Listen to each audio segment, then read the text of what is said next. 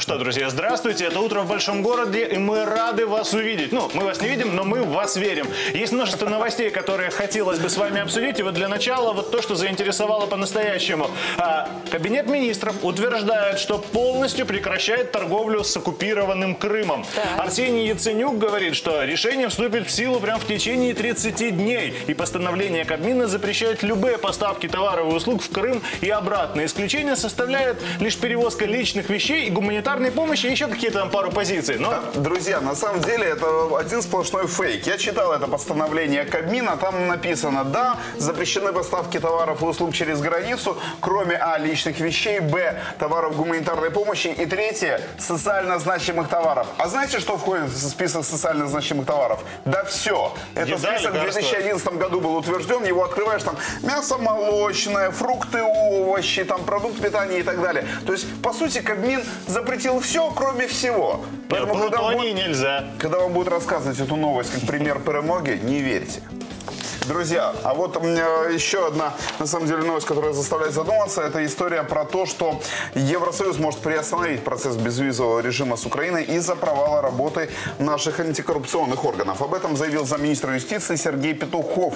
Э, об этом передает РБК Украина. Ну, на самом-то деле, э, во всяком случае, никакой точки в этом вопросе нет. До сих пор еще нет пока решения Евросоюза о том, выполнены ли условия для безвизового режима или такие не выполнены. Но то, что на самом деле все происходящее сейчас идет не с восклицательным знаком, а с большим знаком вопроса, в этом сомневаться не приходится. Так, до речі, до цієї теми ми ще будемо повертатися сьогодні у нашій студії. А ось народним депутатам планують таки підвищити зарплату. Е, Тепер е, зарплата парламентарів може збільшитися майже в чотири рази. За словами народного депутата Ігоря Кононенко, зараз в парламенті обговорюють два варіанти. Е, Такі два варіанти. По-перше, це значить можуть зарплату підвищити до 17 тисяч або до 25 25 тисяч. Зараз насправді збирають підпис, розповів Кононенко. І нагадаю, що зараз народні обранці отримують 6,5 тисяч гривень зарплати. Зрозуміло, що для чиновників такого рангу це зарплата насправді невелика, і тому з одного боку, дай я вже, будь ласка, договорю. Дякую. А я- Звичайно, з одного боку, не обращай внимания. Я зрозумів. З одного боку, це дуже мало, і звичайно, вони повинні отримувати більше. Але тоді повинен посилитися контроль за якістю, за діяльністю, взагалі, взагалі за діями чиновників. Для того, щоб вони не отримали хорошу, гарну зарплату, а потім все одно ще спокуса брати. Кишені була, знаєш, все одно незмінною. Нехай отримують більше, але нехай тоді і не крадуть. А мне нечего даже добавить, ты умничка. Гениально, да. Друзья, за всеми событиями в Украине чуть не пропустили и другое интересное событие. В Москву приезжал госсекретарь США Джон Керри. Более трех часов про- происходила встреча. А, Что там происходило? Ну, практически нет информации, на удивление, такой широко доступной. Андрей Булгаров в своей рубрике «Ремарки» решил проанализировать и сделать свои выводы, исходя из тех э, скупых строк, которые все-таки были выпущены для прессы Госдепом. Давайте послушаем. Второй день размышляю о встрече госсекретаря Керри с московскими правителями. Может, кто не понял, но это самое важное событие текущей недели. Однако об этих трехчасовых посиделках мы ведь практически ничего не знаем. Примечательно, что Керри приехал в Москву накануне ежегодной пресс-конференции, которую Путин дает своей прессе. Э, Совпадение или нет, не знаю. Но э, внесет ли этот приезд какие-либо коррективы в речь Путина, мы сегодня узнаем. Конечно, мы хотели бы услышать, ну вот это, знаете, вот это э, «я устал, я ухожу», но думаю, что не в этот раз. С другой стороны, возможно, сегодня будут произнесены слова, способные всех удивить. Тем более, если прочитать в оригинале, что же именно сказал Керри московскому царю. Ну вот, например, по Сирии. Соединенные Штаты готовы сотрудничать с Россией, чтобы победить ИГИЛ, если, конечно, Москва направит свои удары против ИГИЛ, а не против сирийской оппозиции. Если с дипломатического, то, Вова, прекращай бомбить мирное сирийское население. И вообще, хватит летать, где тебя не просят. А вот что Вова услышал, на днях появилась инфа о переброске на турецкую базу Инжирлик группировки Люфтваффе, состоящую из 250 военнослужащих и истребителей «Торнадо». А еще ранее туда прибыли тяжелые бомбардировщики ВВС США F-15. Сирия для России вообще все плохо. Керри четко обозначил Путину, хочешь, мол, поддерживать Асада, ради бога, но демократические выборы в Сирии мы все-таки проведем. Ежу понятно, что Асад э, выборы демократические не переживет. При этом, как думаете, какова будет судьба российской группировки в Латакии? Тем более после их бомбардировки сирийских мирных городов. Да и касаемо Украины, Керри продемонстрировал конкретно сформулированную позицию. Надоели санкции? Выполняем Минские соглашения в полном объеме. А это означает лишь одно. Вали с Донбасса и ополченцев своих забери. И вообще, помнишь, почему ввели санкции? Вот-вот, Крым придется отдать. Даже цену на нефть Керри вспомнил. Типа, хошь не хошь, а нефтяной эмбарго с Ирана мы таки снимаем. Че, тебе это невыгодно? Ну извини, ничего личного, just business. Неудивительно, что ничего этого в российской прессе нет. Удивляет, почему наша пресса обошла столь важные заявления стороной. Или танцы депутата и премьера в Раде, или выяснение между грузином и армянином, кто из них больше украинец важнее. Добренького вам утречка.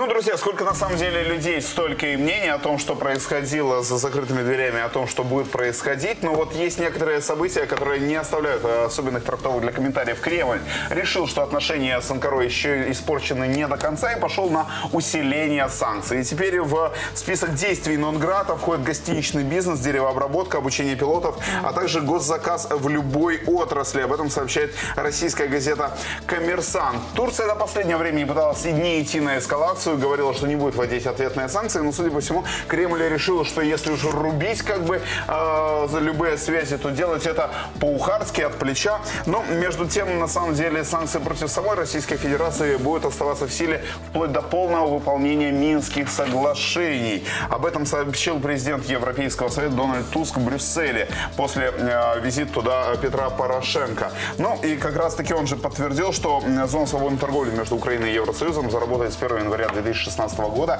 вне зависимости от того, что будет желать Кремль. А ось дивіться, ще була інформація про те, що в Туреччині затримали 27 російських кораблів. Як пишуть турецькі змі, Е, затримання пройшли в різних е, портах країни, і це стало нібито відповіддю на дії Росії, котра нібито затримала 8 кораблів під турецькими прапорами. В свою чергу російські дипломати заперечують, що це їхні кораблі затримані. А вони лише мовляв їх там перевіряють. І вже стало відомо, що представники Росії та Туреччини планують провести зустріч найближчим часом, щоб взагалі якось обговорити ситуацію, яка склалася.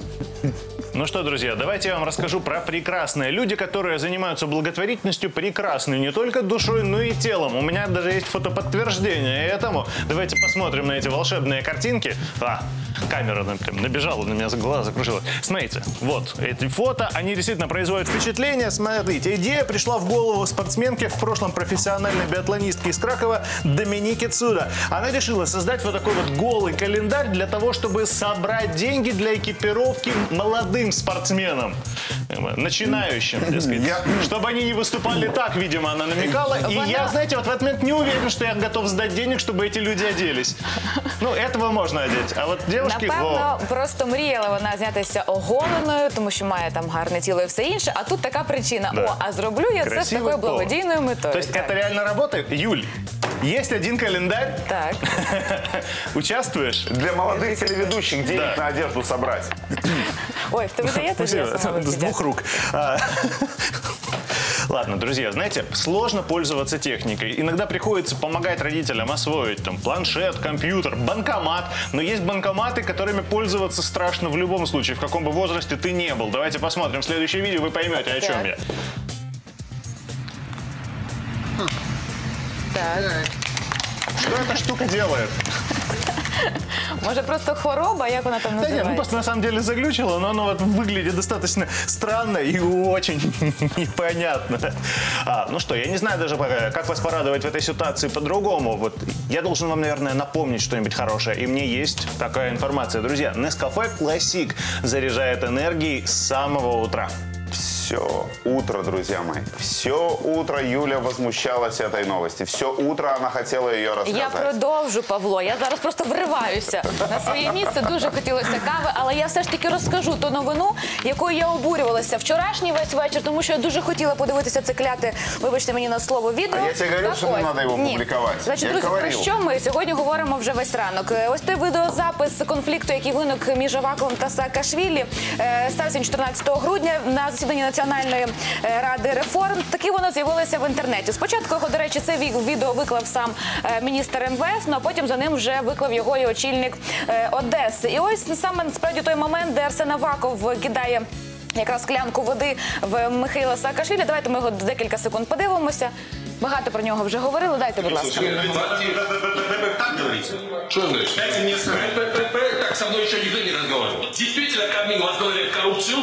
Я, я, никто, я никогда не позволю. У меня, в отличие от вас, денег нет, но зато у меня есть совесть и репутация. И я не собираюсь, чтобы какой-то Аваков, который проворовавшийся, который все знают, что он работает на схемах сидит, разговаривал с таким тоном. Я еще, у меня больше репутации ничего нет. Я не собираюсь,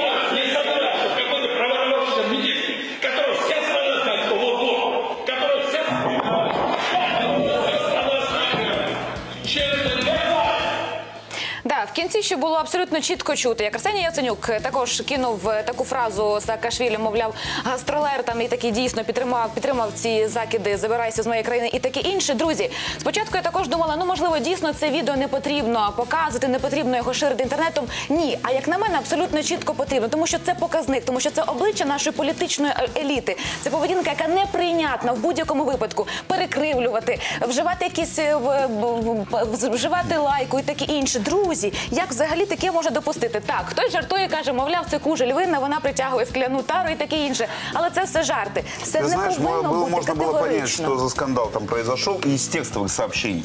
А вот видео разойдется по всем медиа всего мира Да. и будет лучше А иллюстрировать. так у нас все ідеально А ты в думаешь, країні, что, а так у нас все а ты думаешь, супер, что чешские, розумієш? Тільки це кори- відео. чешские, На самом деле, например, можно или вам польские показать политики другое будут разделять видео, Юлю пока ребята Зарей от ссорятся. украинской Многие элиты? уже Это отреагировали на глупость. эту ситуацию. И вот грузинские добровольцы записали видеообращение к Арсену Авакову. Они возмутились, что министр внутренних дел ну, позволил себе вот такие высказывания, позволил заявить там «убирайся из страны». Их возмутило, что Арсений Яценюк назвал одесского губернатора, руководителя области гастролером. А свое отношение к конфликту высказал и заместитель генерального прокурора Давид Цакварелидзе. Ну, в общем, давайте посмотрим видео, которое уже есть в сети. Мы хотим узнать. Вчера Аваков против Михаила Саакашвили разговаривал, что все грузины, которые воюем за Украину, мы гастролеры. Товарищ министр внутренних дел, если можно всех объясните, если вы так считаете, что мы гастролеры, приходите, тогда вы сами и сам воюете за свою родину. Ну, вообще, на самом деле, непонятна логика Арсена Авакова, потому что если он считает, что вес украинского паспорта зависит от даты выдачи украинского паспорта, то мне глубоко жаль, э, что чиновник топ-ранга настолько заблуждается. Ну, давайте как-нибудь включим позитивную волну. Вообще, знаете, когда армянин и грузин ссорятся, у меня в голове сразу начинает играть мелодия из фильма «Мимино». Знаешь, та та та та та Ладно, раз уж про мелодии заговорили, родители ради детей готовы плясать под любую дудку в прямом смысле этого слова. Следующее видео уже собрало миллионы просмотров. Отец ради своего дитя напялил странный свитер. Уже 2 миллиона 145 тысяч зрителей посмотрели. И танцевал под то, что нынче называется дабстепом. Да, они утверждают, что это музыка. Ой, ну класно. Но выглядит эффектно.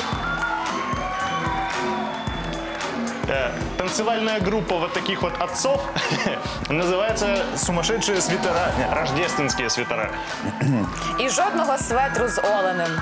Ну, олени танцуют, как бы...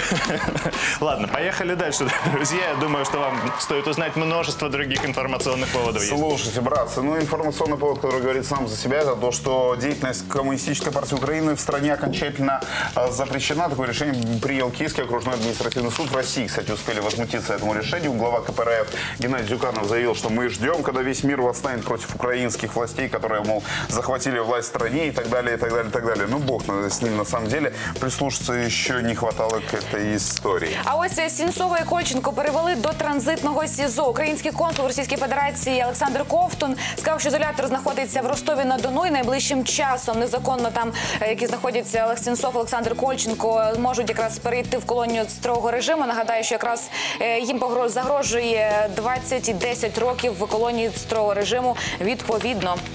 Мы продолжаем. Вас ждет множество других интересных новостей. Например, шок. Новый куратор фейковой Новороссии выясняется этнический украинец. Его подноготную раскопали авторы проекта «Секретный фронт». Кто же правая рука Путина на Донбассе, вы сможете увидеть совсем скоро. А сейчас факты. Эй,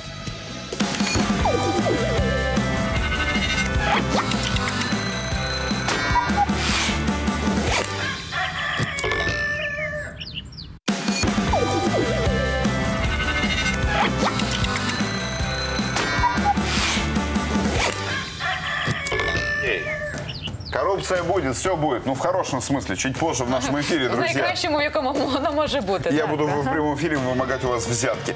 Друзья, э, правоохранители обнаружили архив Януковича. Об этом заявил глава МВД Украины. По его словам, сейчас у министерства на руках оригиналы документов на Межигорье, документы корпорации МАКа, документ на недвижимость, оборотные счета и так далее, и так далее, и так далее. Более того, есть даже личные документы э, Виктора Януковича, например, его пенсионное удостоверение. Слушай, он же бедняжка теперь без, пенсии- без пенсии. Без Він в тролейбусі напевно тепер платить гроші, а міг би показати пенсійне посвідчення безкоштовно Ну, їздити. кстати, это вот новости от нынешнего главы МВД Украины. А экс-глава МВД Украины нашелся. Захарченко трудится в Госдуме Российской Федерации э, экспертом в комитете по вопросам собственности. Об этом он сам сообщил корреспонденту УНИАН в Москве. Э, Заявил о том, что от украинского гражданства он не отказался, но при этом получил российский паспорт.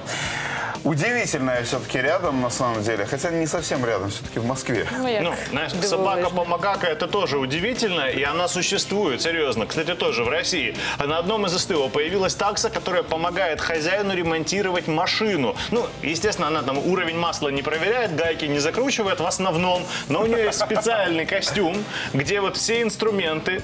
Это очень удобно, мне кажется. Знаешь, вот собачка Что подбегает, а там все есть. Ага. Масло. Дивись, як е, свічки, масло, як романтично. Слухай, закрий при- капот. принеси мне э, субу, там, я не знаю, сальник заднего левого суппорта. Она приносит такой, я же тебе, дура, говорил заднего левого, а ты мне переднего правого принесла. Собака, выгнал собаку. Ні, собаки це прекрасно. Друзі, продовжуючи далі наш ефір. Е, новим куратором бойовиків на Донбасі виявляється назначено етнічного українця Дмитра Козака. Колишній герушник з чеченським минулим. Саме про нього накопали інформацію наші колеги з програми Секретний фронт. І ось його досьє. Подивіться. Кінець 2015 року проект Новоросія зазнав повного фіаско. За планом, розпіарена кремлівськими пропагандистами псевдодержава мала охопити майже половину України. В реальності вийшла маленька бандитська квазідержава. Це визнав навіть горизвісний ватажок проросійських терористів ФСБшник Ігор Гіркін. Винним за провал призначають так званого куратора Новоросії, кремлівського політтехнолога Владислава Суркова. Замість Суркова у листопаді 2015 року куратором російських найманців на Донбасі Путін призначає Дмитра Козака. Ця новина приголомшила експертів. Він прибічник повної тотальної федералізації України. Е, І ще одна небезпека він е, українець етнічний. Він нас дуже добре розуміє. Експерти секретного фронту переконані, карколомна кар'єра Дмитра Козака почалася після того, як в армії його завербували радянські спецслужби. Напередодні розпаду радянського союзу КДБ активно просувало своїх агентів в оточення впливових політиків-демократів, щоби надалі контролювати ситуацію в країні. Західні аналітики стверджують, непримітний кадебіст Володимир Путін потрапив в оточення мера Анатолія Собчака саме з подачі спецслужб. Та виявляється, Путін був далеко не єдиним таємним агентом в оточенні Собчака. Дмитро Козак. Він грушник. Причому він від, прослужив там від рядового і пройшов спецназ гру. В нього є одна така риса особистісна. Е, Він містик. Він реально вірить в містицизм і в магію. Можливо, саме зв'язок з темними потойбічними силами пошкодив психіку Дмитра Козака. В нього колосальна кількість комплексів. І, до речі, в нього комплекс є один, за який його списали із гру. В нього вроджене і знижене відчуття небезпеки. Тобто ця людина не тому, що вона смілива і переборює страх, а він просто тупо не боїться. Дмитро Козак це людина, яка перестала бути українцем, перестала бути, власне кажучи, Дмитром Козаком, і е, яка е, працює на Російську імперію, так як на Російську імперію працювала достатньо велика кількість е, українців-манкуртів. Е, тобто м, тих людей, які своїми організаційними здібностями насамперед е, підсилювали Російську імперію. Секретний фронт виходить на ICTV щосереди в 2020. Вы знаете, Правда, да, ну Павло? просто имейте в виду, что некоторые сюжеты, которые выходят в нашем эфире, они на самом деле юмористические, несмотря на то, что начитываются с абсолютно серьезными интонациями. А, поехали дальше, друзья. Что советуем почитать? Э, США отменяют запрет на экспорт нефти, который действовал практически, вдумайтесь, 40 лет. И э, американская нефть марки VTI как раз-таки будет в большем объеме поступать на мировой рынок. Но скажется ли это на ценах на нефть? Обвалят ли они существующие котировки, а, когда баррель торгуется за 37 долларов за баррель? Хороший вопрос. Многие считают, что нет. Почему? Узнаете, прочтя статью. Как проанонсировал это, друзья. И другую статью хочу вам предложить. Она вам может быть очень быстро полезна, потому что там рассказывается, как э, защититься от нечестных кредиторов. Руслан Демчак на ресурсе Лига Финансы раскрывает правду о потребительских кредитах. Они в Украине часто ну, выдаются на реально грабительских условиях. Там мелким шрифтом в конце договора вы чуть ли не душу продаете. Итак, на страже порядка. Как хотят изменить права заемщиков. Вот такой материал ищите, он будет вам полезен. Это знаешь, какая самая большая ложь на земле – это не «я люблю тебя» и там не «будь моим другом», а самая главная ложь на земле распространенная – это «я прочел и согласен с условиями лицензионного Так, так, так, це було. Друзі, Нет, а самая я большая ложь хочу... это нет тебя не полнит. Серйозно? Гаразд. Я хочу, щоб ви трошки відволіклися від всякого повсякденного і серйозного і прочитали статтю про те, як прикрасити ялинку. Ну це ж новина, яка потрібна просто на вчора. Е, на ресурсі год 2016 знайшла корисну статтю. Виявляється, що цього року будуть доречними на вашій ялинці червоні, золоті, обов'язково блискучі іграшки. Поєднання має бути біле з золотим, жовтий і зелений. Ну, мав пооцінить такі Знаєш, ваші таке, е, смаки в А у меня виборі в этом году іграшок будет для ялинки. немодная елка с немодными цветами, вышедшая из моды еще два сезона назад. я З так червоною понимаю. зіркою. Обязательно. Так? Е, Почитайте, там є гарні такі е, м, гарні варіанти, як можна прикрасити цьогоріч вашу ялинку, бути оригінальним. Ну что, друзья, несмотря на то, что утро, пора поговорить про звезды. Звезды – это удивительные люди. Иногда они предпочитают одиночество, иногда они себе заводят какой-то сон любовников. Итак, кто из голливудских небожителей, например, любит, так сказать, покататься на трехколесном-то велосипедике? Смотрите. Звездные треугольники. Бедные, несчастные звезды. Из-за своей вечной занятости на личном фронте у них полный бардак. Куда ни кинь, все страдают от одиночества и отчаялись в поисках любви. Но некоторым все-таки везет. Да так, что на них клюют сразу несколько. Дженнифер Энистон, Брэд Питт, Анджелина Джоли. Какая красивая пара! Поклонники Джен и Брэда рыдали крокодильями слезами, узнав об их расставании. Однако причина тому не только сексуальная красотка Джоли, а еще и нежелание Энистон рожать Питу детей. Искра проскочила между Брэдом и Эндж на съемках фильма «Мистер и миссис Смит». И пошло-поехало. Впрочем, сама Джоли утверждает, Пит просто устал от брака и буквально сам пришел в ее объятия. Ну-ну. Леди Диана, принц Чарльз, Камила Паркер Боулс. Семейную жизнь принца Чарльза и принцессы Дианы счастливой можно назвать разве что с натяжкой. Всему виной многолетний роман принца с замужней дамой Камилой Паркер Боулс. Да и Диана не лыком шита. Она тоже закрутила роман с Джеймсом Хьюитом, инструктором по верховой езде. Не обсудил неверности, разве что ленивый. В моем браке было слишком много народу. Грустно шутила принцесса. Скарлетт Йоханссон, Райан Рейнольдс, Сандра Балок. Виновницей разрыва Скарлетт Йоханссон и Райан Рейнольдс стала их коллега по цеху Сандра Балок. Райан играл с ней в комедии «Предложение». Увлечение Райана Сандрой сразу же все заметили, включая Йоханссон, которая не применула публично спросить Балок, каково это – целоваться с Рейнольдсом. Сандра не растерялась и показала это наглядно, поцеловав Скарлетт. Да, кстати, роман Райана и Сандры оказался мимолетным. Скарлетт Йоханссон, Джастин Тимберлейк, Камерон Диас. Впрочем, Скарлетт и сама, по слухам, разрушила не одни отношения. Красотка не на шутку разозлила Камерон Диас, которая не смогла спокойно смотреть клип своего бойфренда Джастина Тимберлейка «What Goes Around» с Йоханссон в главной роли. Диас одолела такая сильная ревность, что она в сердцах решила разорвать союз. Ума Турман, Андре Балаш, Наоми Кэмпбелл. Уму Турман не назовешь везучей в любви. Ей попадаются то алкоголики, то бабники. К примеру, Андре Балаш за несколько дней до намеченной помолвки изменил Уме с Наоми Кэмпбелл. И самое страшное, об их связи Турман узнала уже, когда были разосланы приглашения на свадьбу. Дэвид Бекхэм, Виктория Бекхэм, Ребекка Луз.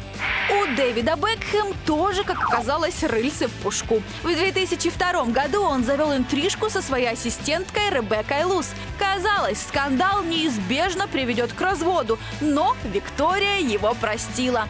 Дэвид поклялся, что ни в чем не виноват. «Я ему верю», — сказала она. И правильно сделала. После этой истории Бекхэм сделал ей повторное предложение руки и сердца. А еще у парочки появились татуировки, которые в переводе с латыни означают фразу «все сначала». Терзаетесь, узнав об интрижке второй половинки? Не переживайте. Возможно, этот факт лишь укрепит ваши отношения, как у звездной парочки Бекхэм. Друзья, Инстаграм – дело серьезное, поэтому у Паши его по-настоящему нет, не справляется. Там много труда, много усилий, правильный подход к процессу. Все это необходимо для того, чтобы все было правильно. Вот в сети появилось видео, которое Я показывает все сложности вот, работы с этой соцсетью. А, быть может, вы узнаете в себя в этих кадрах? Ну, Так, показуй, показуй. Давайте посмотрим. Вот И? да. Как делаются идеальные фото для Инстаграма. Ага. ага. Класно. Ну от взяли і всі секрети розкрили. То есть я правильно не завожу себе аккаунт в этой социальной сети, да? М, Не исключено. Подивися класно, оригінально.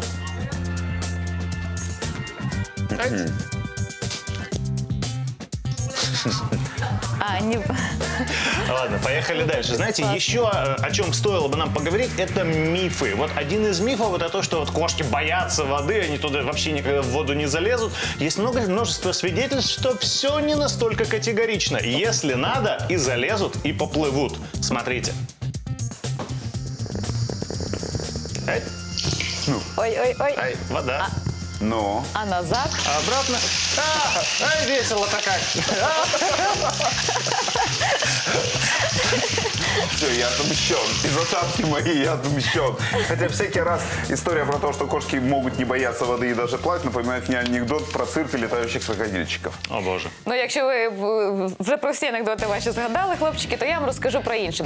Знаєте, на жаль, слово корупція стало невід'ємною частиною от якраз лексикону українців. Кожен пояснює це слово по-своєму. А як саме корупцію пояснюють депутати? Даша Селфі спеціально пішла до Верховної Ради і розпитала у депутатів, що для них корупція. Подивіться на їх відповіді.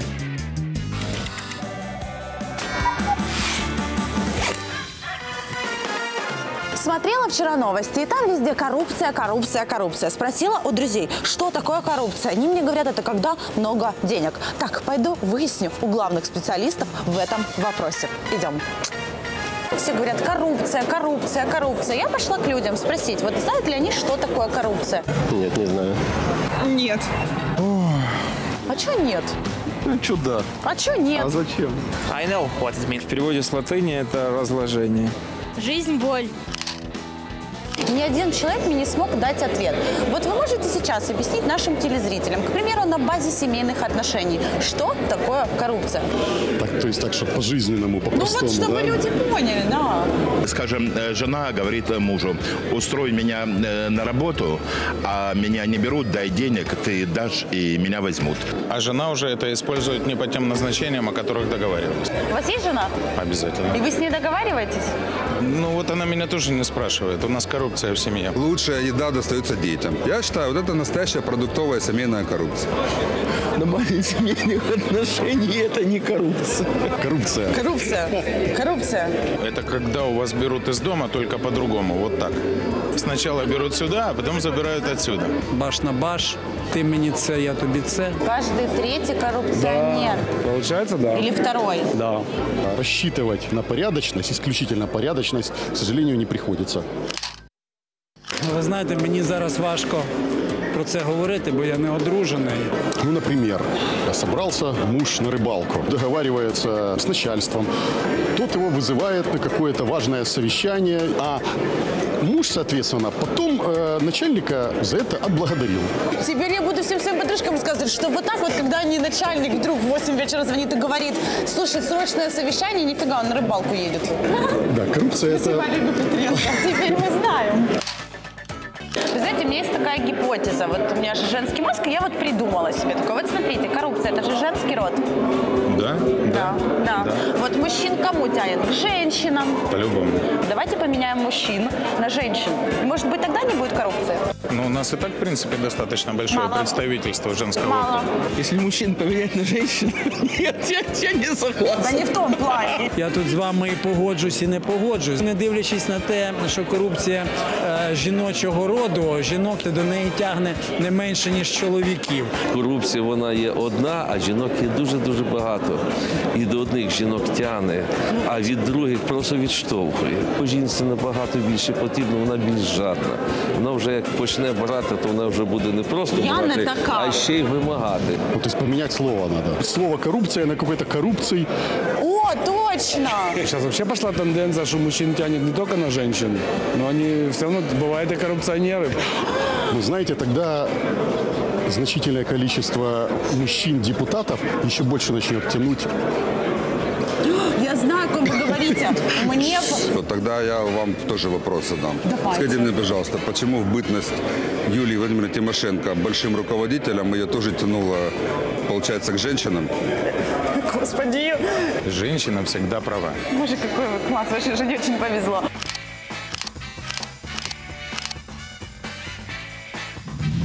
Вот, хорошие мои, теперь вы знаете, что такое коррупция. Главное теперь научиться ей противодействовать. Целую вас. До встречи.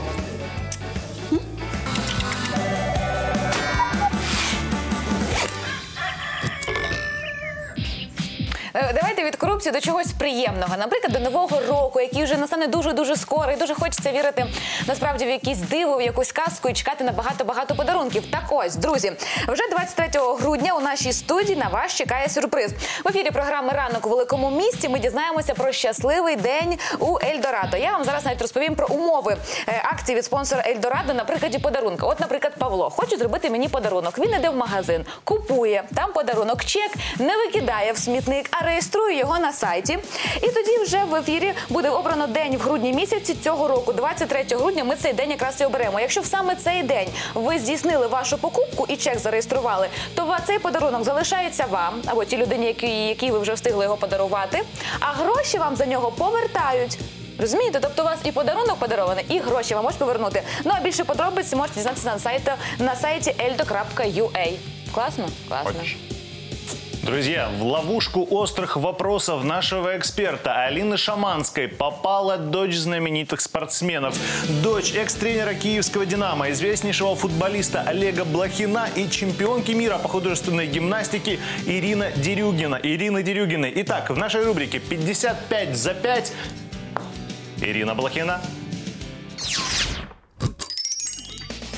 Доброе утро! Сегодня наша героиня Ирина Блохина. У меня есть 55 вопросов, а у нее только 5 минут.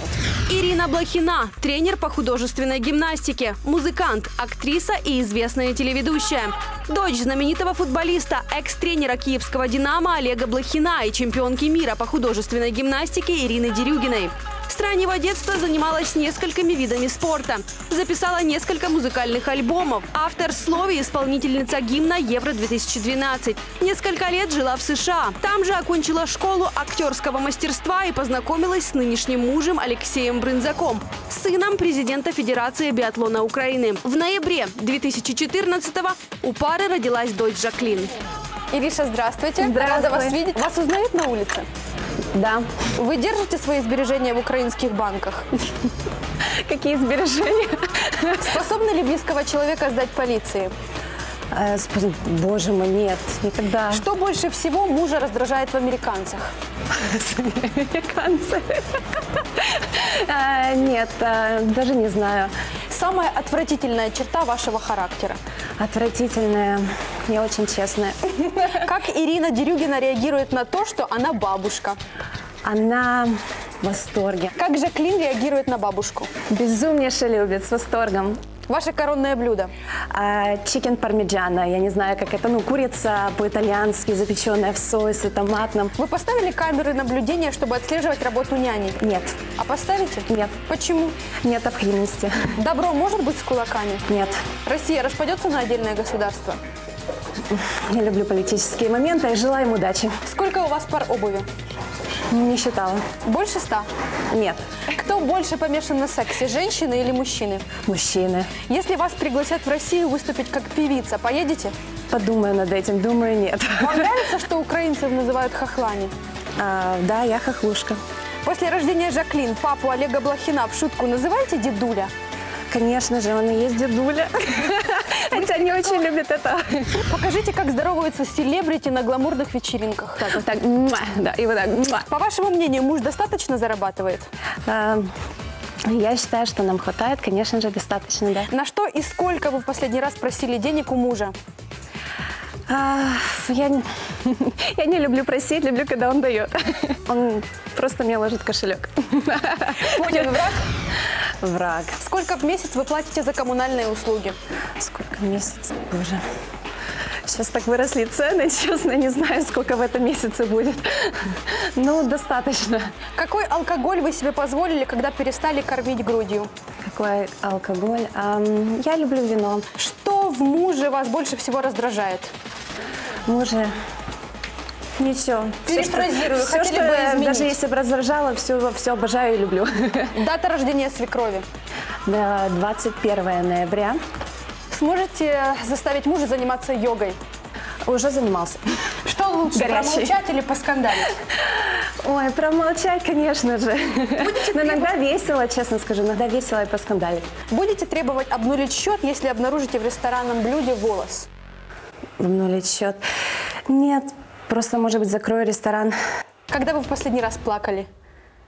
Вчера. За что? Доча делает первые шаги от счастья. Вы потеряли друзей россиян из-за разногласий во взглядах на события в Украине? Да. Поддерживаете ли вы однополые браки? Да. Фамилия вашего любимого футболиста? Блохин. Это тяжелый. Какую ближайшую цель на соревнованиях по гимнастике вы поставили вашим ученицам? Золотая медаль в Рио. Когда будет ваш личный концерт? Думаю, хороших пару лет. В сколько лет был ваш первый поцелуй? Сколько лет? Ам, 19. Как звали парня? Ам, Алекс. Подружки часто просят в долг? Часто. Даете? Чаще всего, да. Что вы делаете неправильного как тренер, по мнению бабушки Альбины Дерюгиной?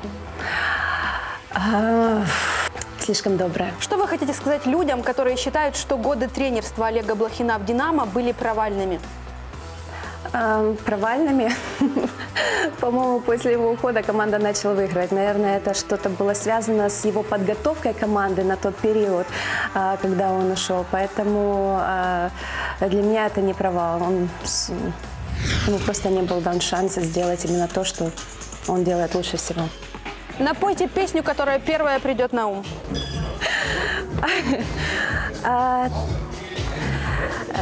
Боже мой. Любимое ругательство. Щет. Когда-нибудь стреляли из настоящего Нет. пистолета? Все люди действительно созданы равными? Да, да. Вы ревнуете мужа к подругам? Нет. Вам нравится наша программа? Очень безумнее. Спасибо вам большое. Спасибо.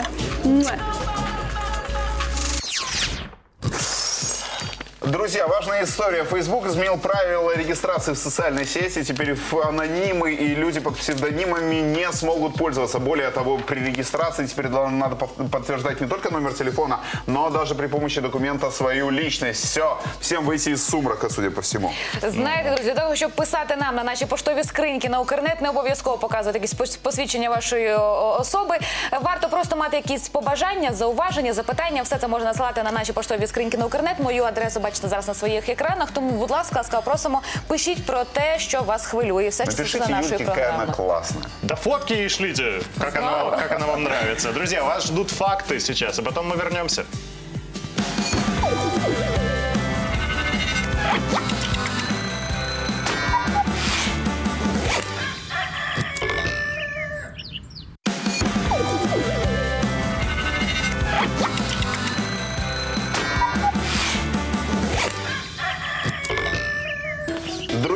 Действительно, спасибо фактам. Будем сейчас рассказывать вам о небольших политических и, м, э, противоречиях. Ну, как политические противоречия? Александр Лукашенко, который всяческим образом пытается дистанцироваться от политики официального Кремля на протяжении последних полутора лет, при этом одновременно пытается показать Кремлю, что не особенно-то он и дистанцируется. Заявил Давича о том, что у него нет э, разногласий с российским президентом по ситуации в Украине. Мол, Беларусь э, прежде всего заинтересована в мире, как в Украине, так и на Ближнем Востоке и так далее. Ну, на самом-то деле, в ситуации подобного геополитического шпагата оказываются сейчас очень многие лидеры постсоветских стран, которые, с одной стороны, пытаются и с Кремлем не побить горшке, ну а с другой стороны, пытаются как бы, ну, остаться рукоподатными э, с точки зрения западных политиков. Ну да, в шпагате и других необычных позициях сейчас оказывается не только политики, но и целые телеканалы. Согласно статистике, уровень доверия к теленовостям у россиян упал почти вдвое за последние 6 лет. Такие результаты показал опрос общественного мнения от Левада-центра. Если в 2009 году доверяли ящику 79%, то сейчас только 41%. При этом большинство россиян, согласно происходящим же соцопросам, а точнее 85%, узнают о новостях в стране и мире именно по телевидению. Я, говорит, пойду не доверяю, посмотрю. но смотрю. Да, но посмотрю. Знаєте, друзі, наші колеги з програми Секретний фронт якраз е, взяли собі на озброєння тему про те, хто сьогодні права рука Путіна в проєкті Новоросія, чим відрізняється колишній ГРУшник Дмитро Козак до відрядження до України і чим зараз він займається у Криму. Насправді, все таки досьє свою думку з цього приводу вони зібрали в секретному фронті. Ну, подивіться також. Дмитро Козак за останні 20 років жодного разу не відвідав рідне село. Побачити його вже не сподівається навіть найближча рідня. Ну, ну чого ж вони мене будуть запрошувати, як я українка? Ну вони теж, ну вони вже більше з життя вони живуть на- в Росії. Дмитро Козак керував першою передвиборною кампанією Путіна та контролював уряд Російської Федерації під час його першого президентства. Саме Козак вибудовував жорстку схему підпорядкування Кремлю непокірної Чечні. У 2008 році Путін призначає Козака куратором підготовки та проведення Олімпіади у Сочі. На цьому відео чиновник рапортує перед російським президентом щодо приголомшливого перевищення бюджету. Удорожание объекта есть? Да, удорожание тоже есть серьезно, но оно... Да, сколько? Было миллиард двести стоил. Да. Вот, А стало? Стало 8. Из миллиарда 200 превратилось в 8 миллиардов. Молодцы. Хорошо работаете. Ну, пойдем дальше. Та замість звільнення за надвитрати погорілий чиновник отримує чергове підвищення. Дмитрий Казак также подчеркнул, что на строительство гостиниц в Сочи не тратится ни одного бюджетного рубля. Він є коліщатком цієї системи корупційної російської, е, яка е, зжирає і в тому числі людей, які там мешкали. Тепер він контролює розбудову інфраструктури в окупованому Росією Криму. Нове дітище козака, так званий Керченський міст, що має поєднати Крим з материковою частиною Росії. Грандіозний проект для розпилу грошей. Призначення козака куратором так званих ЛНР та ДНР експерти пов'язують з нагальною потребою терміново навести бодай якийсь лад на окупованих бандитами територіях.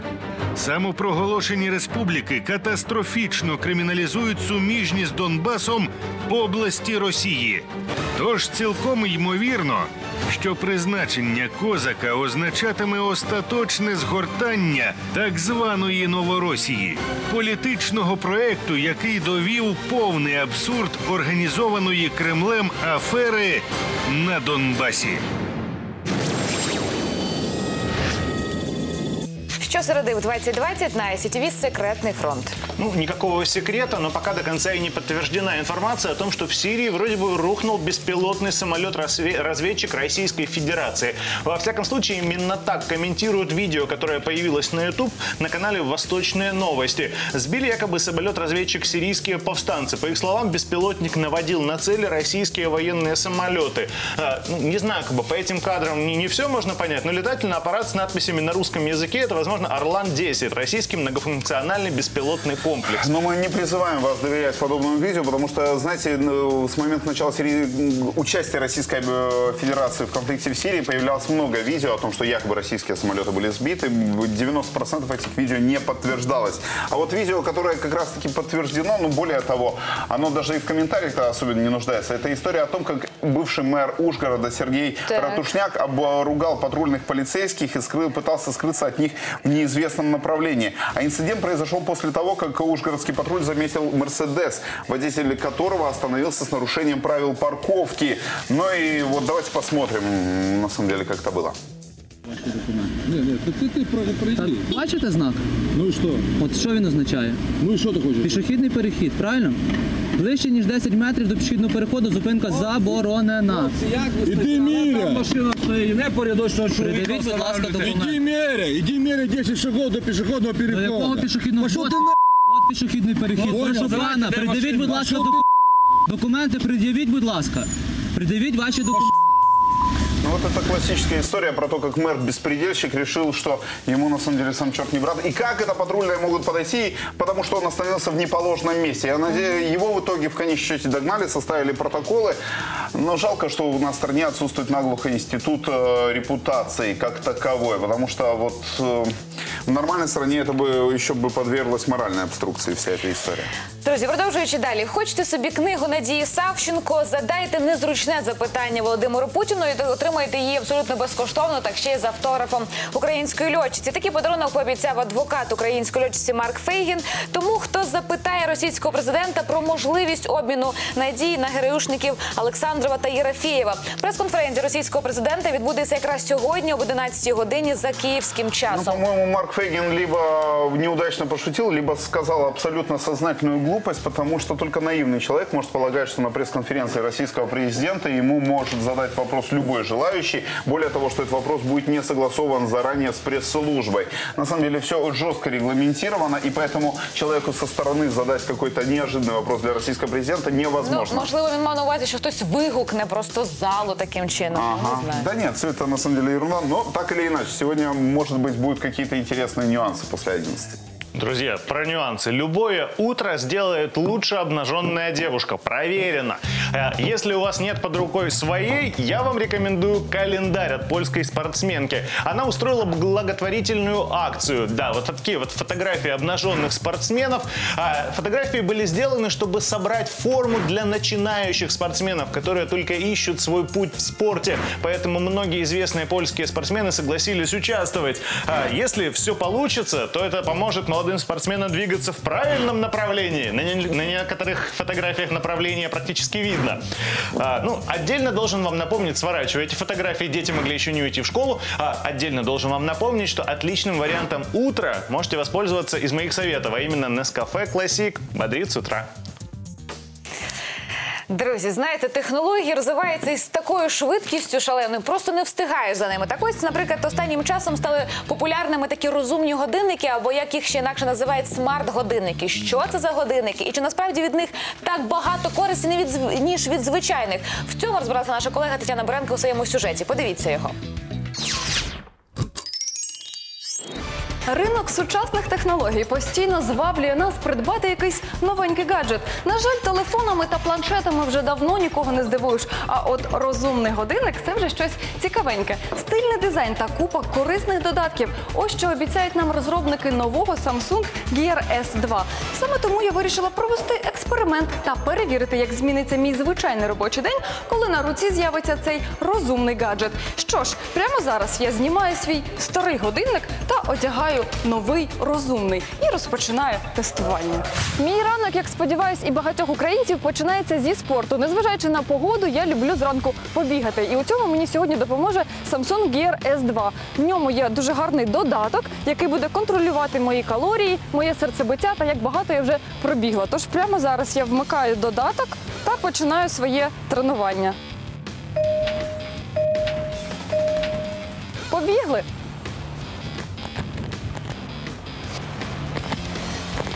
Цьому годиннику не страшний ні сніг, ні дощ, так само, як і мені. Побігли далі тренуватись.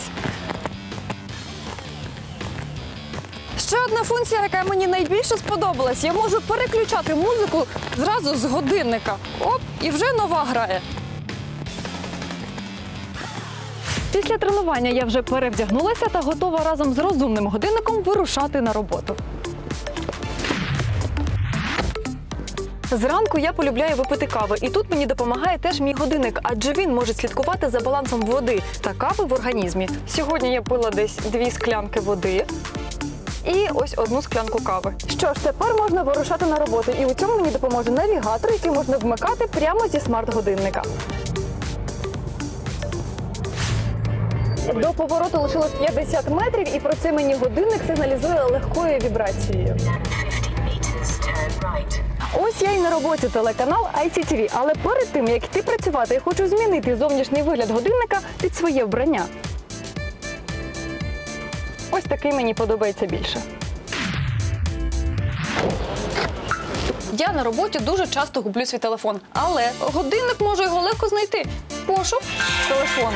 Було б дуже класно, якщо був якийсь додаток, який міг знайти в моїй сумочці ключі, гроші та інші дрібниці. До речі, компанія Samsung Electronics Україна оголосила про старт конкурсу Українське всередині, і кожен з вас тепер може розробити унікальний додаток до розумного годинника. Не упусти свій шанс.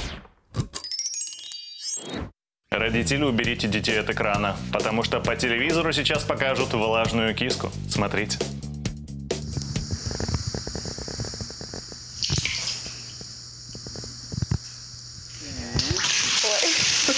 ハハハハ! Это же прекрасно. На это можно смотреть. И животное жалко, но смешно. Смешно, правда.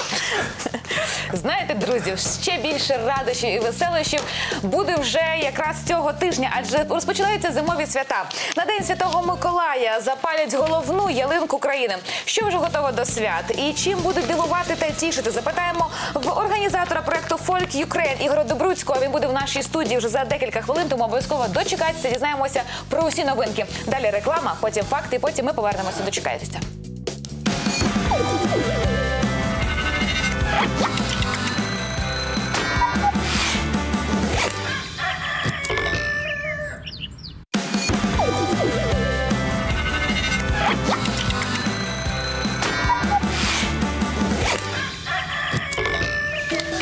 Спасибо фактам спор, друзья. Важная новость. Это то, что президент э, Украины подписал закон о отменяющем ввозные пошлины на электромобили. По идее, это должно привести к тому, что электромобили в нашей стране должны подешеветь. Но и, на самом деле переоценивать значение этой новости не стоит, потому что за весь прошлый год в страну было ввезено на самом деле вот несколько десятков электромобилей. Их эксплуатация довольно-таки высока, потому что комплектующие к ним, включая те самые батареи, стоят чрезвычайно дорого. А вот идея об отмене ввозной пошлины пошлины, например, на обычные легковые автомобили, бензиновые или дизельные, она остается в повестке дня. Просто на самом деле украинские власти всячески пытаются улизнуть от необходимости давать внятный ответ на этот вопрос. Пытается улизнуть от необходимости давать внятный ответ сейчас как бы мэр российского одного города. Он праздновал свой юбилей, но попытался по бумагам все провести, как детский утренник, на полном серьезе. Э, Ряд э, должностных лиц потребовали, чтобы безвозмездно были поставлены продукты на праздник, который проходил в гостиничном комплексе Holiday Inn, на секундочку, да? Но все это обозначалось детский утренник в честь Нового года. Э, Сейчас подозреваются по делу трое сотрудников мэрии. Им грозит до 7 лет лишения свободы. Вот, такое, вот, вот так вот 50-летие мэра отпраздновали. Ну, в душі він ще хлопчик, хлопчик. Ну, що маєте дити? Чоловіки Ну, да. взагалі до старості хлопчики, тому це Просто нормально. игрушки меня. Вот четыре стриптизерши его и выдали, да.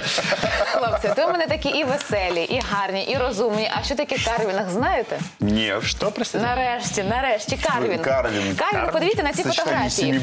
Подивіться на ці фотографії. Ось так виглядає це саме страшне слово. Карвінг це така е, мистецтво художньої різьби по, по овочам та фруктам.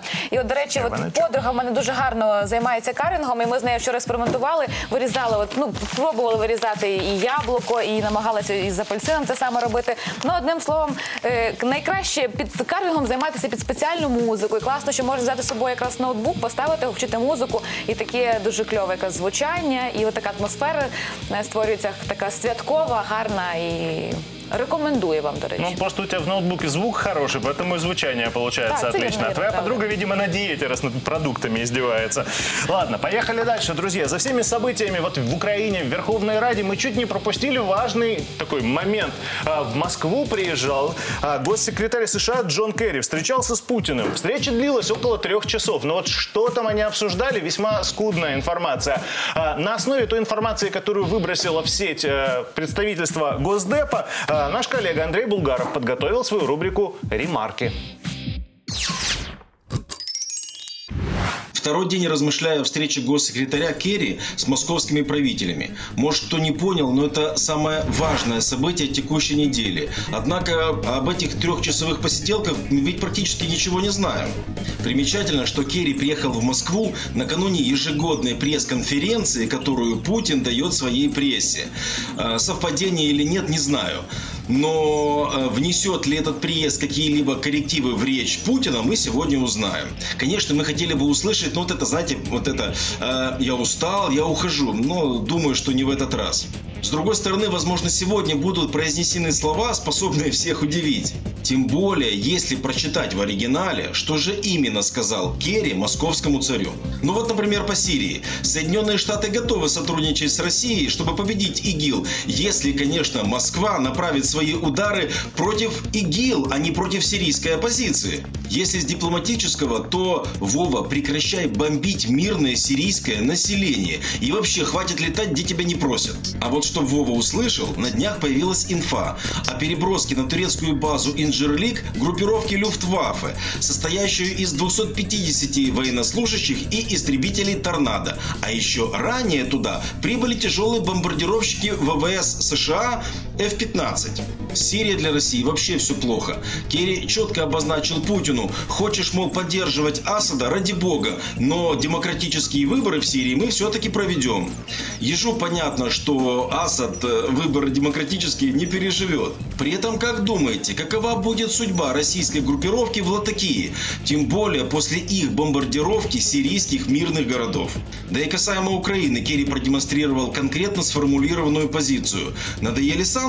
Выполняй Минские соглашения в полном объеме. А это означает лишь одно. Вали с Донбасса и ополченцев своих забери. И вообще, помнишь, почему ввели санкции? Вот-вот, Крым придется отдать. Даже цену на нефть Керри вспомнил. Типа, хошь не хошь, а нефтяной эмбарго с Ирана мы таки снимаем. Че, тебе это невыгодно? Ну извини, ничего личного, just business. Неудивительно, что ничего этого в российской прессе нет. Удивляет, почему наша пресса обошла столь важные заявления стороной. Или танцы депутата и премьера в Раде, или выяснение между грузином и армянином, кто из них больше украинец важнее. Добренького вам утречка. І доброго ранку, і свята все наближаються і наближаються, і так урочисто дихають нам у спину. Навіть уже головну ялинку встигли прикрасити, готові запалити вже цього тижня. Що, де, коли буде в програмі розваг? Все це розпитаємо нашого гостя, якого ми раді вітати у нашій студії. Це організатор проекту Folk Ukraine Ігор Добруцький, який власне відповідає за всю цю красу. Доброго ранку, пане Ігоре. Скажіть, будь ласка, Я- дякую, що завітали. А ось головна ялинка країни, вона вже остаточно буде от якраз жити на Софіївській площі. Е, Все залежить від киян. Ми- Минулому році ми зробили перший експеримент, звернулися до влади, і вона нас підтримала. Так. І ми цю локацію запропонували. Вдалося. Цей рік ми вже якби наполегливо запросили е, відзначити нові річні свята саме на цій площі. А на наступний рік я думаю, що ми разом з вами, з глядачами, напишемо петицію міському голові і скажемо, хай завжди це свято відбувається саме в цій святині між двома дзвіницями. То сама краща енергетична Я, земля. до речі, особисто абсолютно за. І продовжуючи тему ялинок. Ви ж з подарунком до нас Так, прийшли. це ялиночка, це з- прямо в першому каналі, який може бути. Так. Прямо з ялинки зняв саме для вас. Це подарунок імбірні прянички. Е, Чому вони до нас саме прийшли? Ми ж е, То есть елка будет именно такими пряниками украшена? так, да, різних форм. Е, е, Чому саме е, е, пряниками? Європейська традиція. Да? е, Почалася з, е, з Великобританії, далі по- поширилась по всій Європі.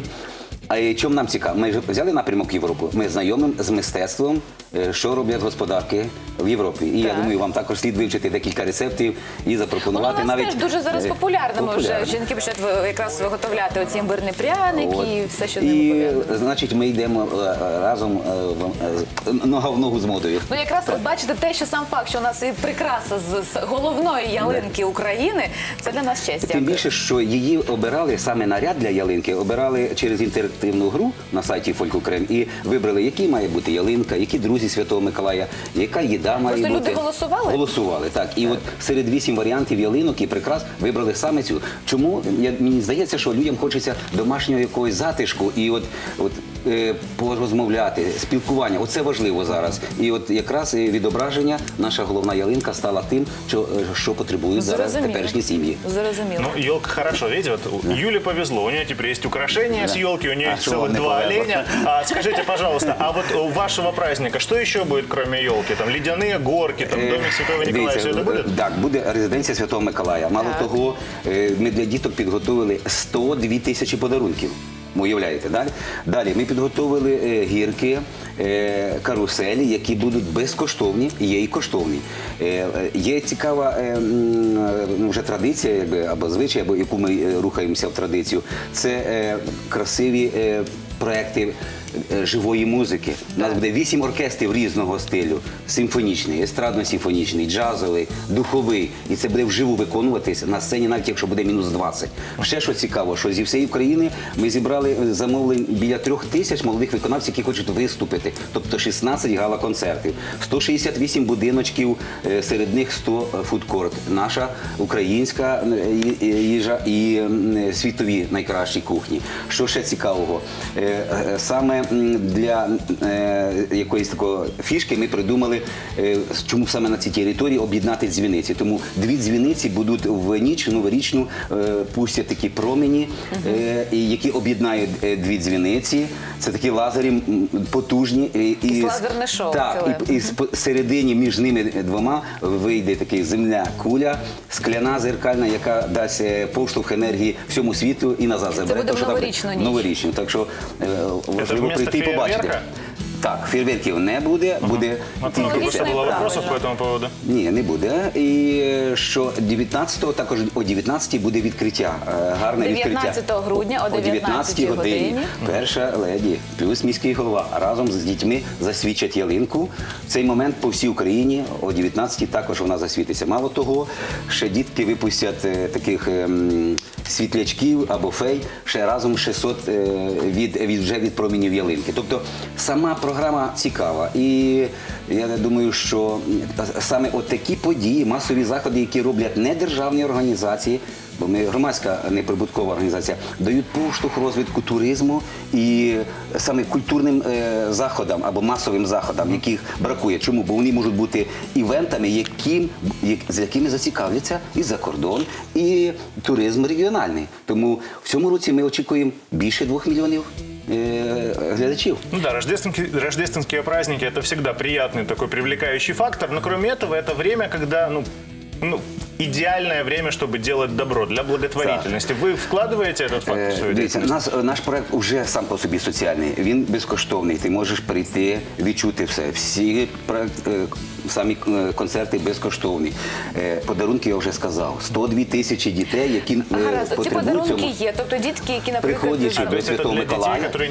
Да, да, ми зв'язалися з управлінням соціального захисту Так. і нам надали 74 тисячі дітей списки, які цього потребують. Тобто І саме вони- ці дітки отримують Так, від вони Миколая при- ці подарунки. Обов'язково. І мало того, ми надіємося, що вони і разом і поспілкуються.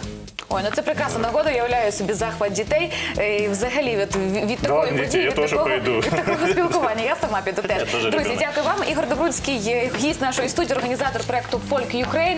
От стільки всього цікавого насправді буде якраз е, під час е, новорічних різдвяних свят. Нагадаємо вам, що е, головну ялинку країни запалять вже 19 грудня о 19 годині. Ну а скільки всього там буде цікавого, і зокрема в новорічну ніч. Ну от ви дізналися, що називається з Це, це тільки частина. Я запрошую Це лише частинка ж інтрига залишається. Дякую вам. І вам дякую. Друзья, Новый год через две недели, и, конечно, уже сегодня имеет смысл заглядывать в будущее. Однако, однако, тем не менее, не стоит э, забывать оглядываться по сторонам видео.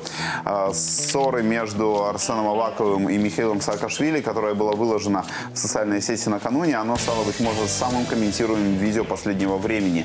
На это, в этом видео видно, как политики обзывают друг друга, а кроме того, глава, министр внутренних дел Украины, не сдержавшись, бросает стакан. Давайте посмотрим.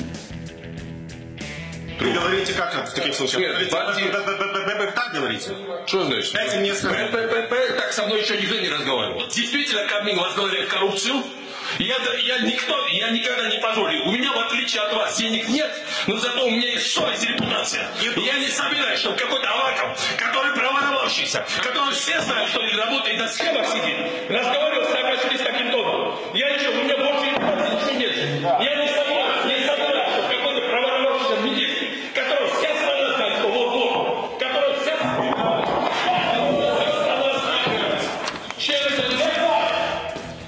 Там очень важное м, прозвучало оскорбление со стороны главы МВД, который э, призвал э, одесского губернатора покинуть страну. И на самом деле это вызвало огромную волну возмущения, потому что цена- вес украинского паспорта не меряется датой его выдачи. Ні, взагалі ситуація абсолютно обурлива. Не це неприйнятна ситуація, коли обзиваються, коли перекривлюють. Це просто якийсь дитячий садок. Абсолютно неприйнятно, дуже сумно і дуже неприємно і гидко. І ось, до речі, грузинські добровольці записали відеозвернення до Арсена Авакова. Вони обурилися саме от таким фактом, який ми щойно споглядали. І давайте ми до- подивимося на величкий шматочок цього відеозвернення. Увага на екран. Мы хотим узнать. Вчера Аваков против Михаила Саакашвили разговаривал, что все грузины, которые воюем за Украину, мы гастролеры. Товарищ министр внутренних дел, если можно всех объясните, если вы так считаете, что мы гастролеры, приходите тогда вы сами и сам воюете за свою родину. Ну, на самом деле, э, история про слова Арсена Авакова, это история абсолютно про переход границ, на самом-то деле. І ось, до речі, Давід Сакварелідзе, заступник генерального прокурора, він також в знак солідарності до Саакашвілі, також охрестив себе грузинським гастролером і зазначив, що він дуже е, дорожить своїм українським паспортом. Чи потрібні ще якісь слова? Ладно, давайте вернемся к позитиву, друзья. Знаете, социальные сети – это такая история про царство иллюзий. Вроде бы ничего этого на самом деле нет, но фотографии получаются красивые. Давайте посмотрим видео, каких трудов стоит создание классических таких вот беззаботных фотографий в Инстаграме. Может, вы узнаете себя в одной из этих фотографий? Давай, я позирую. У меня ноги болят, снимай быстрее. Я на морі. Ой, ні, Да. не на морі. И вот я в пятый раз за год поехал отдыхать.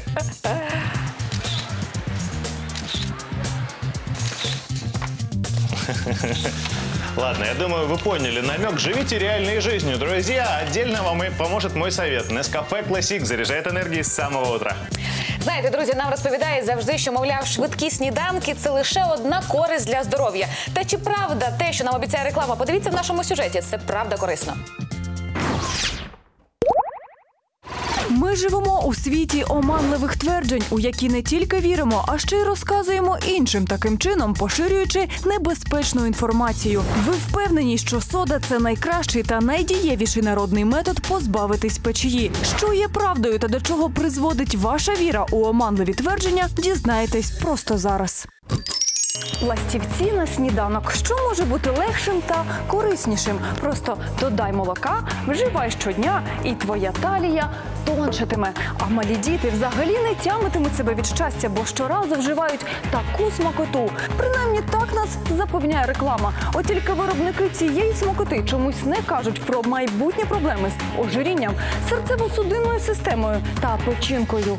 Нам здається, що такі сніданки корисні, адже в них так багато вітамінів. Якщо розібратися, то вони там дійсно є. От тільки хитрість в тому, що ці вітаміни не засвоюються. Здесь указано, что, собственно, хорошо на первый взгляд. Очень много витаминов, очень много микроэлементов. Но хочу сказать, что те же витамины не усваиваются без белка. А это продукт углеводный. Белка здесь крайне мало, а витамины и микроэлементы просто проходят транзитом.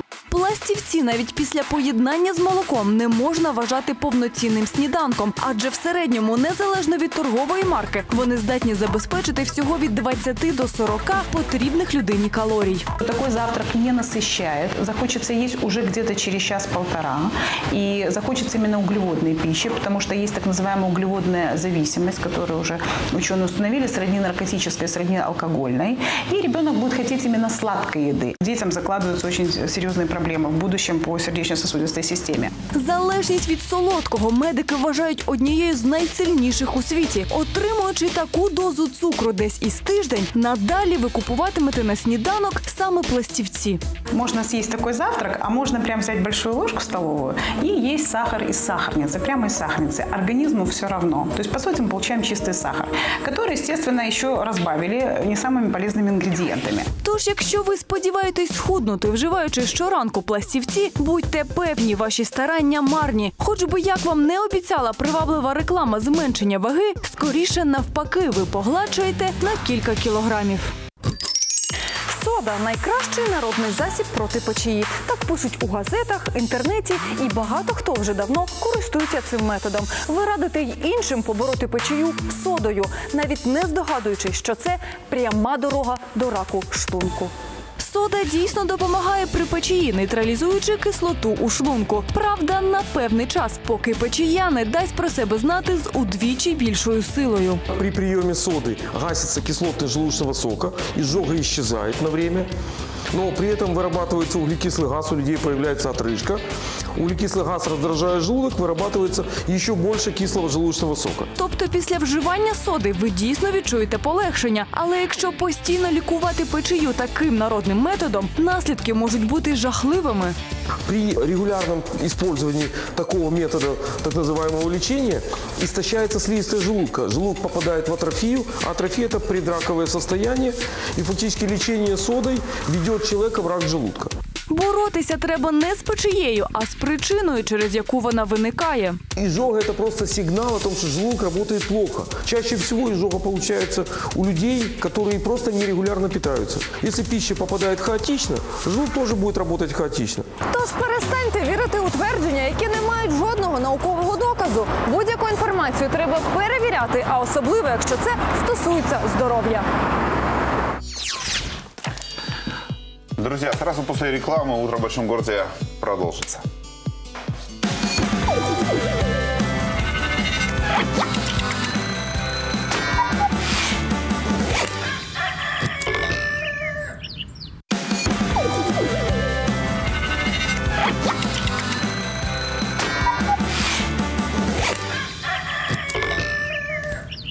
Утро в большом городе продолжается. Я хочу поделиться с вами ценной информацией. Смотрите, как надо располагать офисную технику, если работаете с секретными документами. Включаем видеоинструкцию. И вот принтер. Вылетает секретная инструкция. И оп, и сразу в шредер. Не успел прочитать, нехороший разведчик. А для того, чтобы успеть прочитать, вам нужно быть очень быстрыми. И я вам напоминаю, Nescafe Classic заряжает энергией с самого утра.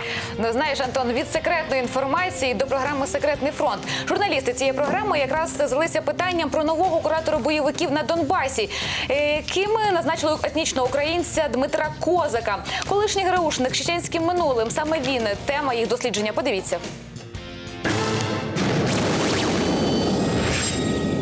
На кінець 2015 року проект Новоросія зазнав повного фіаско. За планом, розпіарена кремлівськими пропагандистами псевдодержава мала охопити майже половину України. В реальності вийшла маленька бандитська квазідержава.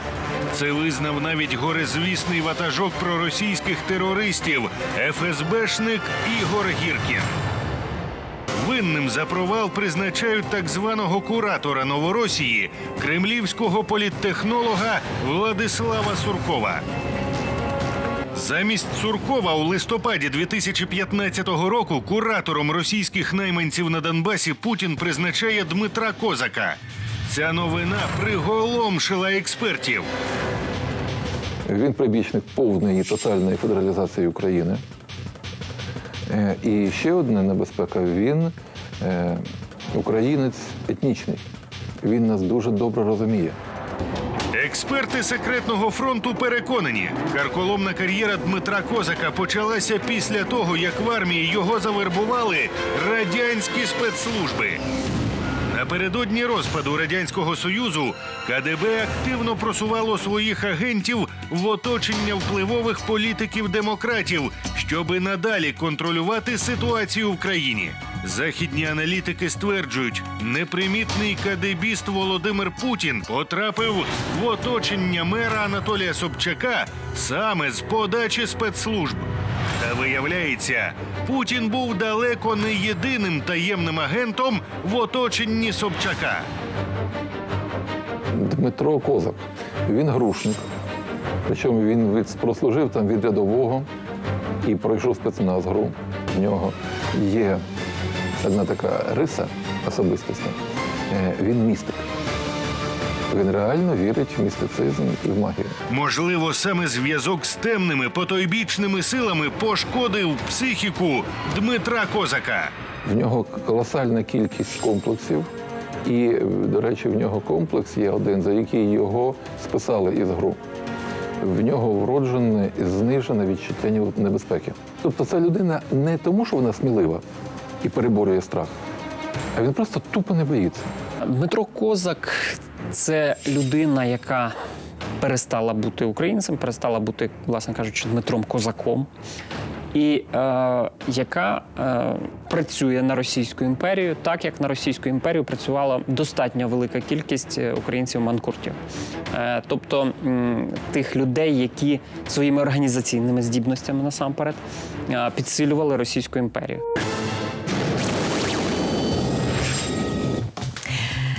Секретний фронт виходить на ITTV щосереди о 20.20. А що буде цієї суботи? Зараз вам розкажу. Друзі, ми до Дня Святого Миколая разом із колегами затіяли таку дуже добру і дуже турботливу гарну акцію. Ведучі ITTV влаштовують благодійні читання. 19 грудня в компанії Оксани Гуцайт, Анастасії Мазур, Катерини Тарути та Віталія Ковача будемо читати казки усім діткам, хто прийде сам і приведе із собою батьків. Запрошуємо всіх вас на проспект Оболонський 1Б. Початок о 12 годині. Вхід вільний.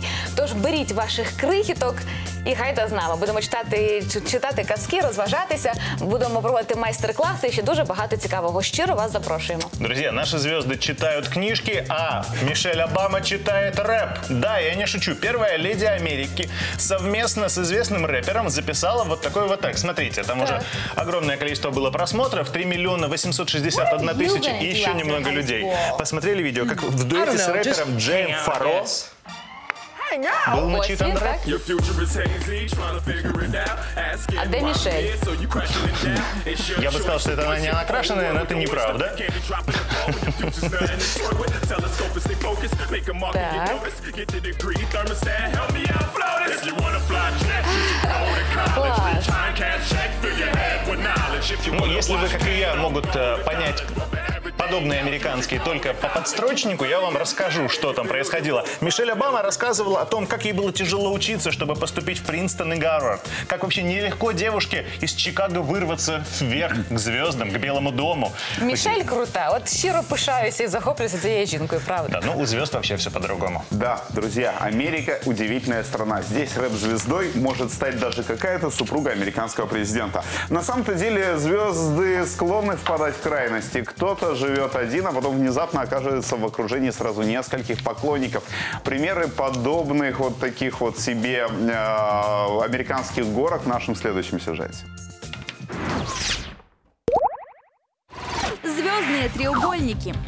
Бедные, несчастные звезды. Из-за своей вечной занятости на личном фронте у них полный бардак.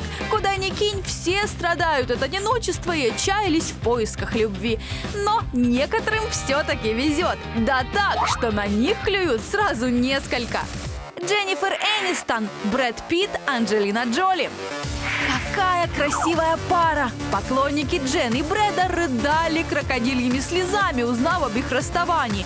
Однако причина тому не только сексуальная красотка Джоли, а еще и нежелание Энистон рожать Питу детей. Искра проскочила между Брэдом и Эндж на съемках фильма «Мистер и миссис Смит». И пошло-поехало. Впрочем, сама Джоли утверждает, Пит просто устал от брака и буквально сам пришел в ее объятия. Ну-ну. Леди Диана, принц Чарльз, Камила Паркер Боулс. Семейную жизнь принца Чарльза и принцессы Дианы счастливой можно назвать разве что с натяжкой. Всему виной многолетний роман принца с замужней дамой Камилой Паркер Боулс. Да и Диана не лыком шита. Она тоже закрутила роман с Джеймсом Хьюитом, инструктором по верховой езде. Не обсудил неверности, разве что ленивый. В моем браке было слишком много народу. Грустно шутила принцесса. Скарлетт Йоханссон, Райан Рейнольдс, Сандра Балок. Виновницей разрыва Скарлетт Йоханссон и Райан Рейнольдс стала их коллега по цеху Сандра Балок. Райан играл с ней в комедии «Предложение». Увлечение Райана Сандрой сразу же все заметили, включая Йоханссон, которая не применула публично спросить Балок, каково это – целоваться с Рейнольдсом. Сандра не растерялась и показала это наглядно, поцеловав Скарлетт. Да, кстати, роман Райана и Сандры оказался мимолетным. Скарлетт Йоханссон, Джастин Тимберлейк, Камерон Диас. Впрочем, Скарлетт и сама, по слухам, разрушила не одни отношения. Красотка не на шутку разозлила Камерон Диас, которая не смогла спокойно смотреть клип своего бойфренда Джастина Тимберлейка «What Goes Around» с Йоханссон в главной роли. Диас одолела такая сильная ревность, что она в сердцах решила разорвать союз. Ума Турман, Андре Балаш, Наоми Кэмпбелл. Уму Турман не назовешь везучей в любви. Ей попадаются то алкоголики, то бабники. К примеру, Андре Балаш за несколько дней до намеченной помолвки изменил Уме с Наоми Кэмпбелл. И самое страшное, об их связи Турман узнала уже, когда были разосланы приглашения на свадьбу. Дэвид Бекхэм, Виктория Бекхэм, Ребекка Луз. У Дэвида Бекхэм тоже, как оказалось, рыльцы в пушку. В 2002 году он завел интрижку со своей ассистенткой Ребеккой Луз. Казалось, скандал неизбежно приведет к разводу, но Виктория его простила. Дэвид поклялся, что ни в чем не виноват. «Я ему верю», — сказала она. И правильно сделала. После этой истории Бекхэм сделал ей повторное предложение руки и сердца.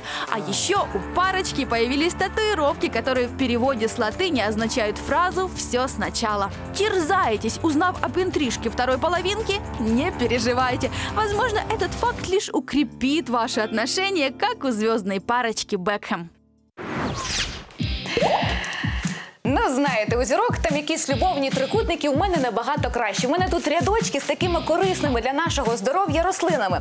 Ви, наприклад, знали, що ось подивіться, орегано це прекрасний народний засіб е, від кашлю. А для того, щоб ви не кашляли і не хворіли, в принципі, вам потрібна профілактика. Потрібно щодня насичувати ваш організм корисними речовинами для того, щоб підвищити імунітет. Саме тому я проводжу вже другий тиждень свій експеримент. Я вживаю вітаміни у пігулках, і кожен день я відзначаю якраз на такому живому календарі, який мені так люб'язно подарували мої дорогі колеги Антон і Паша. До речі, сьогоднішній день ось я також його відзначаю. І можу вам сказати абсолютно щиро і відверто, що стала я набагато напевно енергійнішою, бадьорішою і почуваю себе набагато краще. А насправді секрет дуже простий. Я вам його із задоволенням відкрию. Суперія, сонячний настрій кожного дня. Ну, немного испортили солнечное настроение Монсеррат Кабалье судьи. Они приговорили ее к тюремному заключению, правда условному и достаточно ощутимому штрафу. Причина в том, что оперная дива не выплачивала налоги, как должно выяснилось. Итак, полгода тюрьмы, штраф 255 тысяч евро. Все это одной 82-летней оперной диве. Ну, певица полностью признала свою вину, говорит, что раскаялась. Поверим таланту. И мы переходим к дальнейшей жизни звезд. Наш звездный эксперт Алина Шаманская в этот раз своими острыми вопросами окружила звездного ребенка, так сказать. Итак, дочь известнейшего футболиста Олега Блохина и чемпионки мира по художественной гимнастике Ирины Дерюгиной Ириша Блохина в рубрике «55 за 5». Доброе утро! Сегодня наша героиня Ирина Блохина. У меня есть 55 вопросов, а у нее только 5 минут. Ирина Блохина, тренер по художественной гимнастике, музыкант, актриса и известная телеведущая. Дочь знаменитого футболиста, экс-тренера киевского «Динамо» Олега Блохина и чемпионки мира по художественной гимнастике Ирины Дерюгиной. С раннего детства занималась несколькими видами спорта. Записала несколько музыкальных альбомов. Автор слов и исполнительница гимна Евро-2012. Несколько лет жила в США. Там же окончила школу актерского мастерства и познакомилась с нынешним мужем Алексеем Брынзаком, сыном президента Федерации биатлона Украины. В ноябре 2014-го у пары родилась дочь Жаклин. Ириша, здравствуйте. Здравствуй. Рада вас видеть. Вас узнают на улице? Да. Вы держите свои сбережения в украинских банках? Какие сбережения? Способны ли близкого человека сдать полиции? Э, Боже мой, нет, никогда. Что больше всего мужа раздражает в американцах? Американцы. Э, Нет, э, даже не знаю. Самая отвратительная черта вашего характера? Отвратительная, не очень честная. Как Ирина Дерюгина реагирует на то, что она бабушка? Она в восторге. Как Жаклин реагирует на бабушку? Безумнейше любит, с восторгом. Ваше коронное блюдо? Чикен пармиджано, я не знаю, как это, ну, курица по-итальянски, запеченная в соусе томатном. Вы поставили камеры наблюдения, чтобы отслеживать работу няни? Нет. А поставите? Нет. Почему? Нет необходимости. Добро может быть с кулаками? Нет. Россия распадется на отдельное государство? Я люблю политические моменты и желаю им удачи. Сколько у вас пар обуви? Не считала. Больше ста? Нет. Кто больше помешан на сексе, женщины или мужчины? Мужчины. Если вас пригласят в Россию выступить как певица, поедете? Подумаю над этим, думаю, нет. Вам нравится, что украинцев называют хохлами? А, да, я хохлушка. После рождения Жаклин папу Олега Блохина в шутку называете дедуля? Конечно же, он и есть дедуля. Хотя не очень любит это. Покажите, как здороваются селебрити на гламурных вечеринках. Так, вот так, муа, да, и вот так. муа. По вашему мнению, муж достаточно зарабатывает? А, Я считаю, что нам хватает, конечно же, достаточно, да. На что и сколько вы в последний раз просили денег у мужа? А, я, не- я не люблю просить, люблю, когда он дает. Он просто мне ложит кошелек. Путин враг? Враг. Сколько в месяц вы платите за коммунальные услуги? Сколько в месяц? Боже. Сейчас так выросли цены, честно, не знаю, сколько в этом месяце будет. Ну, достаточно. Какой алкоголь вы себе позволили, когда перестали кормить грудью? Какой алкоголь? Ам, я люблю вино. Что в муже вас больше всего раздражает? Муже. Ничего. Перефразирую, Все, хотели что бы изменить. даже если бы раздражала, все, все обожаю и люблю. Дата рождения свекрови. Да, 21 ноября. Сможете заставить мужа заниматься йогой? Уже занимался. Что лучше, Горячий. промолчать или поскандалить? Ой, промолчать, конечно же. Но иногда весело, честно скажу, иногда весело и поскандалить. Будете требовать обнулить счет, если обнаружите в ресторанном блюде волос? Обнулить счет. Нет, просто, может быть, закрою ресторан. Когда вы в последний раз плакали? Вчера. За что? Доча делает первые шаги от счастья. Вы потеряли друзей россиян из-за разногласий во взглядах на события в Украине? Да. Поддерживаете ли вы однополые браки? Да. Фамилия вашего любимого футболиста? Блохин. Это тяжелый. Какую ближайшую цель на соревнованиях по гимнастике вы поставили вашим ученицам? Золотая медаль в Рио. Когда будет ваш личный концерт? Думаю, хороших пару лет. В сколько лет был ваш первый поцелуй? Сколько лет? Ам, 19. Как звали парня? Ам, Алекс. Подружки часто просят в долг? Часто. Даете? Чаще всего, да. Что вы делаете неправильного как тренер, по мнению бабушки Альбины Дерюгиной? Слишком добрая. Что вы хотите сказать людям, которые считают, что годы тренерства Олега Блохина в «Динамо» были провальными? Ам, провальными. По-моему, после его ухода команда начала выигрывать. Наверное, это что-то было связано с его подготовкой команды на тот период, а, когда он ушел. Поэтому а, для меня это не провал. Он, ему просто не был дан шанс сделать именно то, что он делает лучше всего. Напойте песню, которая первая придет на ум. А, Боже мой. Любимое ругательство. Щет. Когда-нибудь стреляли из настоящего Нет. пистолета? Все люди действительно созданы равными? Да, да. Вы ревнуете мужа к подругам? Нет. Вам нравится наша программа? Очень безумнее. Спасибо вам большое. Спасибо.